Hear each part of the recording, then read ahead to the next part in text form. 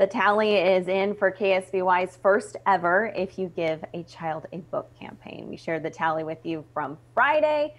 We have an updated number. So we're very happy to announce that between our employees, the generous community, and the Scripps Howard Foundation matching pledges, we raised $28,646. So incredible. I mean, it's just amazing. And yesterday, when we told you the number from Friday, we had half of that. We were at $14,000. So just to finally get this updated number and see how much money we raised is absolutely amazing. So KSBY will now partner with Scholastic to turn these monetary donations into brand new books for students at Arellanes Elementary School in Tanglewood. That's near Santa Maria.